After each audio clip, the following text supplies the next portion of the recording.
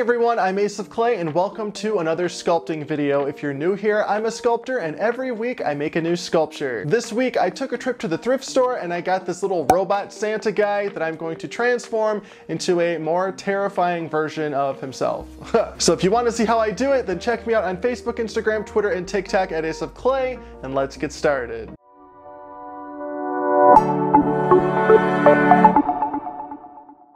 Alright, let's get started. I've got my little Santa robot here. I got him for $1.99 at the thrift store. Let's see if he still works. There we go. And he also plays music. That's not annoying at all.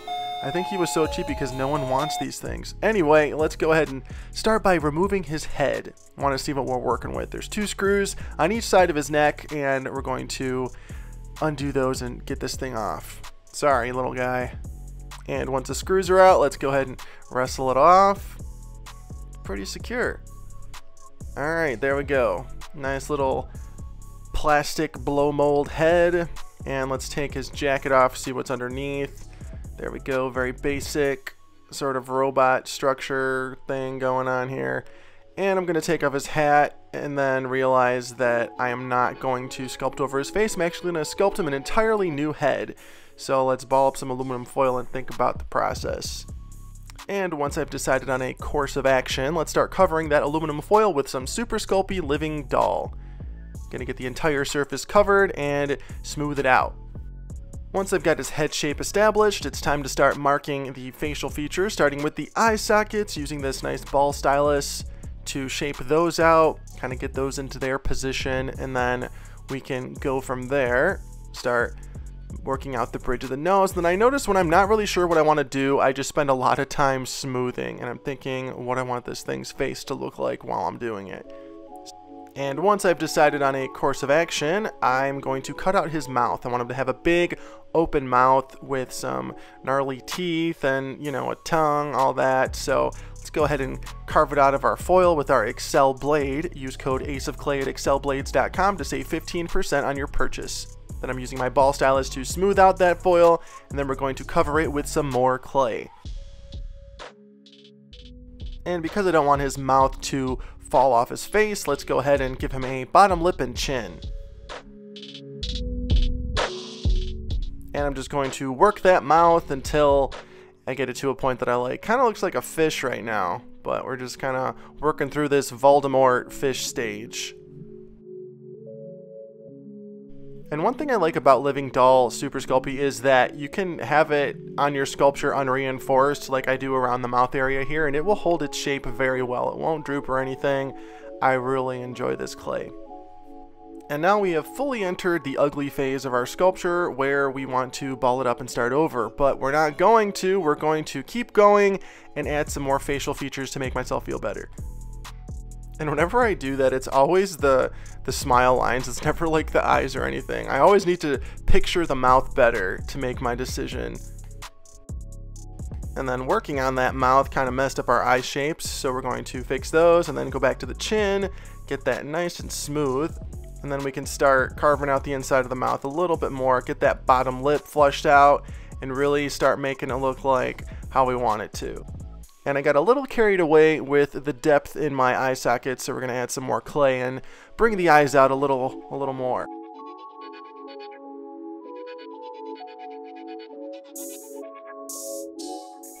And I'm still not sold, but I'm not hating it either.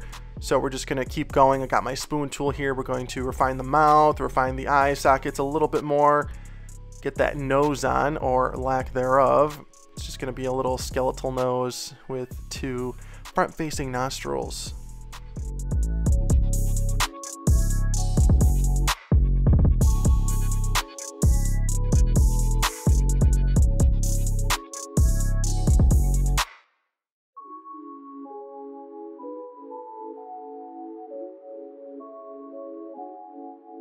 Now I just want to bring the cheeks out a little bit more by adding another little piece of clay. And then once that's on and shaped out, we're going to blend it in. One of the best properties of Living Doll Clay is that it blends so easily. I absolutely love this stuff for that reason. And it bakes without moonies. I don't know how they did it, but it, there, you'll never get a moonie in Living Doll Clay. Um, well, don't never say never, but, you know, for the most part. Alright, let's go ahead and pop in his eyes. I got this little bean shape in there. Then I'm going to use this tool that looks like a butter knife and rock it back and forth to create the eyes and the eyelids simultaneously.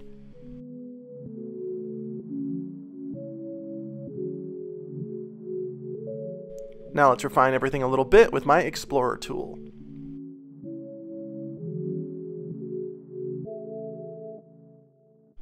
Now let's poke in his nostrils with this tiny ball stylus, like so, nice and skeletal. And then let's move on to some wrinkles on his upper lip. Gonna bring these all the way to his nose.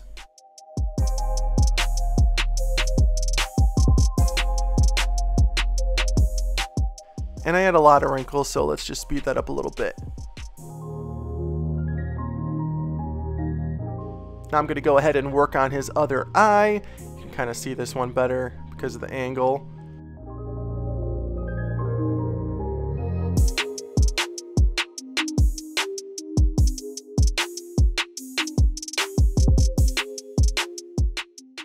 Now let's add some eye bags. This guy's really showing his age now.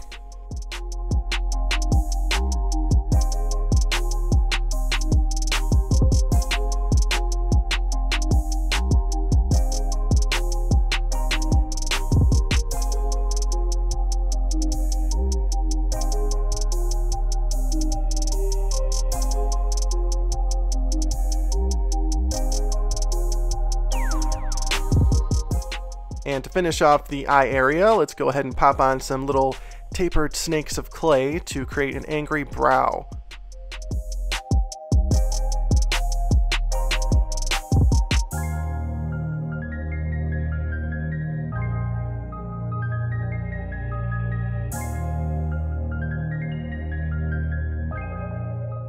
Now to refine everything and add some more wrinkles, we're using this cone rubber shaper, just getting right in there between the brows, adding some wrinkles above his nose, and some forehead wrinkles, of course.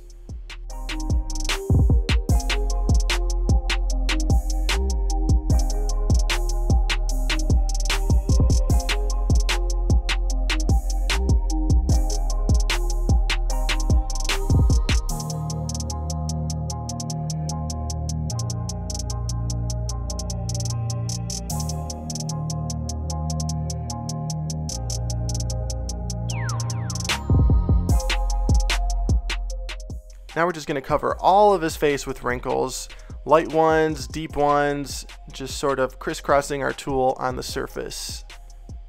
Now it's time to add some teeth. We're going to pop in the gums first on the top, get those pressed on, and then we can use this ball stylus to create the cavities for each of the teeth.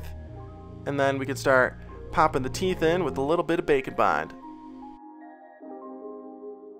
Now when I add the teeth, I'm just adding this sort of neutral ball cylinder type shape and then I'm finalizing them with my spoon tool after they're attached.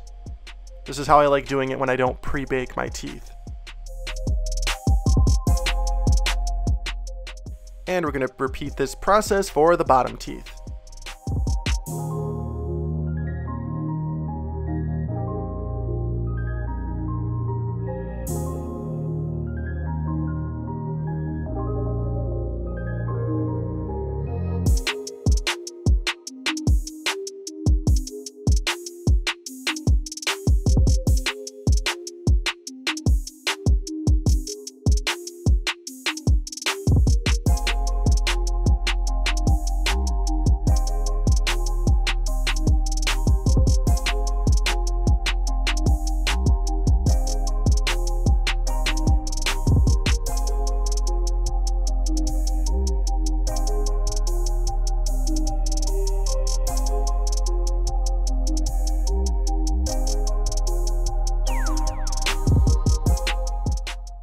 Now once all the bottom teeth are in and refined, let's go ahead and finish everything off with a couple different tools. And then of course, give him a tongue.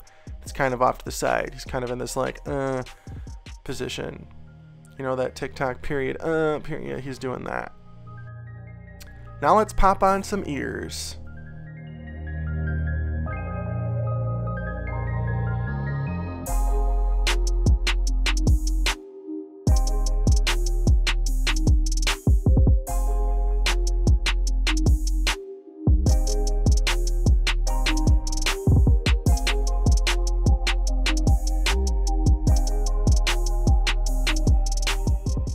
Once the ears are done, I'm just going to go in again with that cone shaper tool and add some more wrinkles and finish this guy off.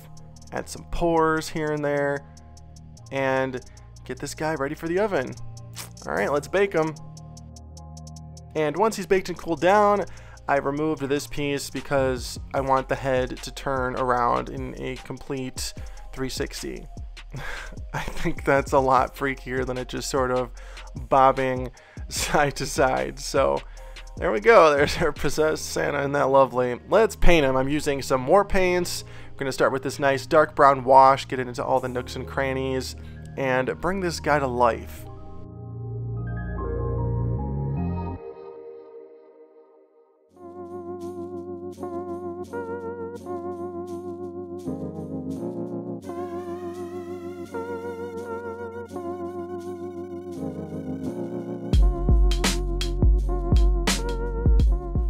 And once the skin is done, I'm going to go ahead and paint the inside of his mouth dark red.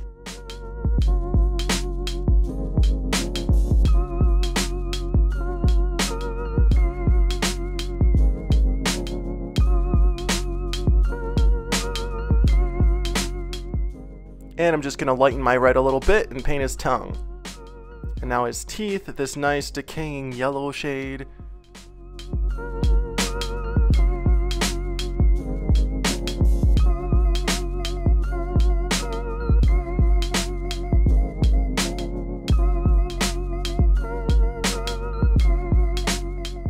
And before I start painting his eyes, I want to darken the eye sockets a little bit.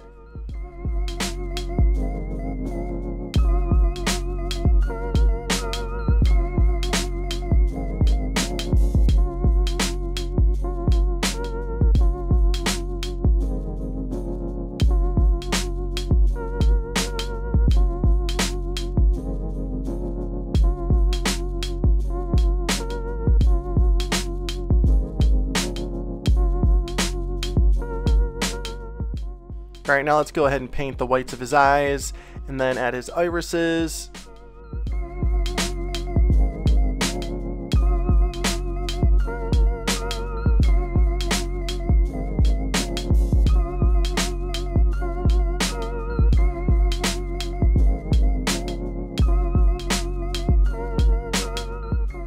Now let's finish everything off with a little red in his waterline and some green veins.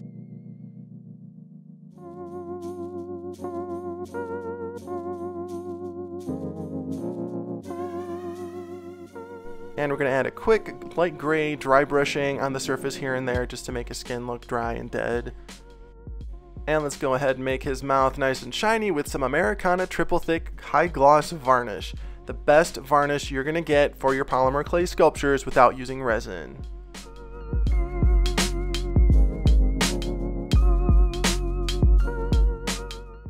And of course we got to varnish his eyes too.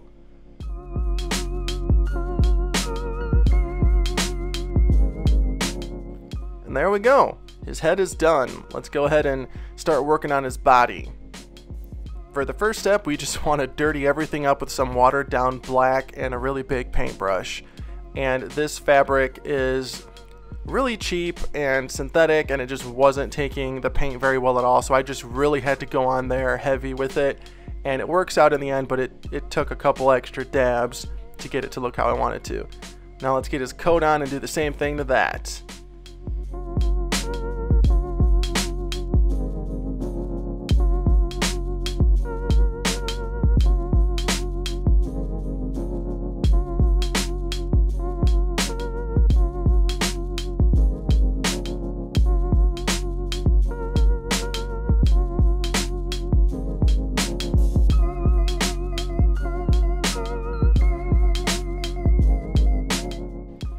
Go, nice and dirty. I pop in a blue Christmas light into his little candle too for a little creepy effect.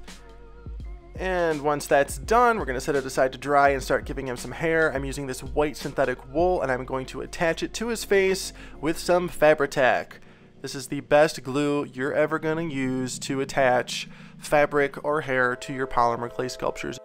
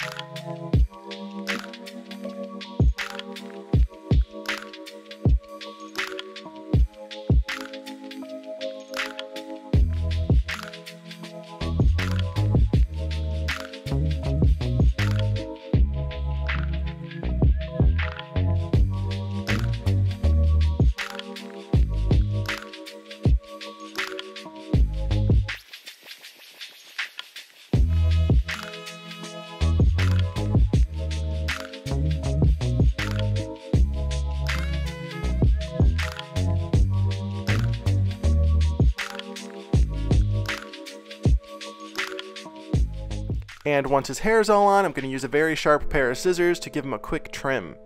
Make it look nice and shaggy and scraggly.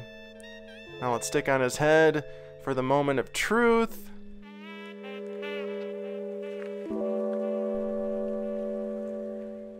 And there we go. That's pretty messed up, but I didn't think about the beard and hair sticking to his clothes, so it just kind of gets tangled around his neck, and I'm not sure how to fix that. But this made it a little better. I just cut off the huge collar, and it kind of helped, but it still gets really tangled in there. I probably should have just used like regular synthetic hair, but it's fine. I'm not gonna ever have this thing turned on, to be honest with you. So that's okay. I'm just gonna turn it on for you guys. Now let's attach his little Santa hat. Do you see how good that Fabri-Tac works? Like I barely pressed it on. The grab is so good with that stuff. Let's position that. There we go, very nice. And for the last step, we're gonna add some drool stretching from his teeth. So we just got some Fabri-Tac on the tip of my skewer and I'm taking it from one tooth to another making sure there's a nice line of drool, like so. And one more piece. Now, say it with me. And he's done! My creepy Santa transformation is complete. Let me know what you think of him in the comments.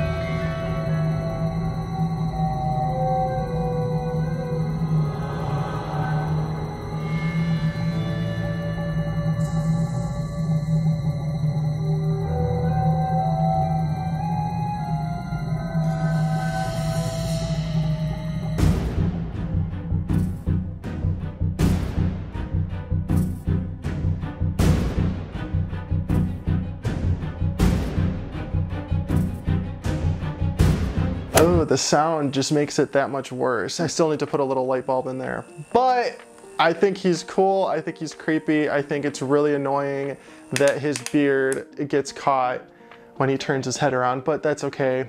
Um, I, like I said, I'm, I'm never gonna have this thing turned on in my house. So let me know what you think of them in the comments. And as always, thank you so much for watching and being here. Be sure to like, comment, and subscribe. Check me out on Facebook, Instagram, Twitter, and TikTok at Ace of Clay. Happy holidays, and I will see you in the next video. Thanks for watching.